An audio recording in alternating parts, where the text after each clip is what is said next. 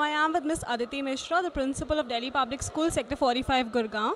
Ma'am, uh, I would request you to please share some small feedback about the session altogether.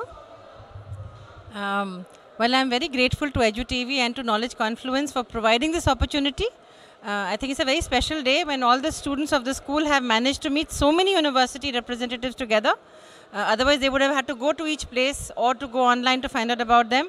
But to have a face to face interaction and information collection, I think is fantastic. I really thankful to you all for providing this opportunity to my students.